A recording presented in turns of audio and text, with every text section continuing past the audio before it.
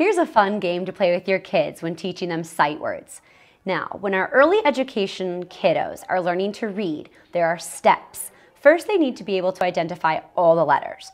Then understand that all the letters make a sound. When they can manipulate those sounds and put them together, they can read CVC words or consonant, vowel, consonant words by easily just sounding them out. Sight words are a whole nother avenue. These are words that have to simply be memorized. Now, I'll start with one that I teach right away. All the kids know this is letter A. A can say ah, A can say ah, A can say uh, but A is also a word. It's the word uh, or it's the word a. It just depends on what part of the country you're from and how you're taught to read that word. So I teach them that this is the word a or a. It's also the letter A. So A has a lot of jobs, a word and a letter at the same time. Takes a lot of practice for them to understand the difference of that, but they'll get it. Now, when you have a word like the, all my students always try to sound it out, but when they do, it becomes quite humorous. T, h, e, or t, h, e, tahi?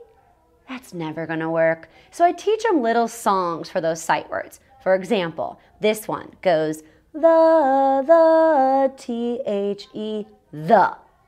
And they know over and over again, whenever they see T-H-E together, that is the word the. Sight word practice can be drill and kill. Flashcards, flashcards, over and over again. Memorize it, memorize it. Sight words, sight words.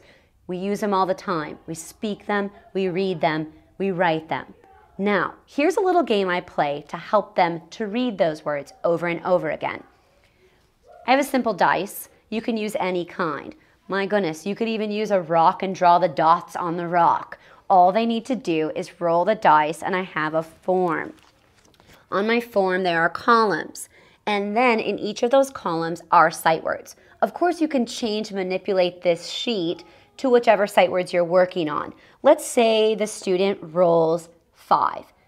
Side note, when they have something to play with, like a manipulative, it makes the game that much more fun. And it's throwing in a little bit of math. So we have five. They find the number five. They must read this whole row. So they put their pointer finger on and they read each word. What if they get a word wrong? Then that's my turn as the teacher. I'm always watching. If they read the word wrong, I say my turn, I read it, your turn. They read it again. Then they continue on. It's a fun way to have your kids practice reading every day, especially those tricky sight words that really don't make sense, but we've got to learn them. Thank you.